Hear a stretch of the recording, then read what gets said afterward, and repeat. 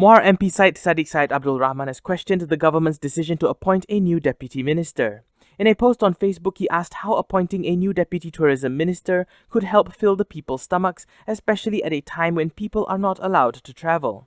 He said this in response to the reports on the appointment of Parti Solidariti Tanah Airku Star Secretary General Guan Dee Koh Hoi as the new Tourism, Culture and Arts Deputy Minister. Syed Saddiq said the government had money for political matters, but when it came to the people, it was difficult and there were many obstacles.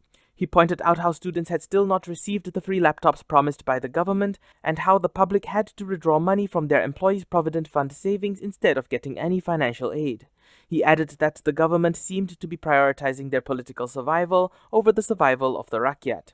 He said ministers and deputy ministers can be grateful for their salaries and positions, however, the people have lost their jobs, had to close their businesses, and auction off their cars and houses.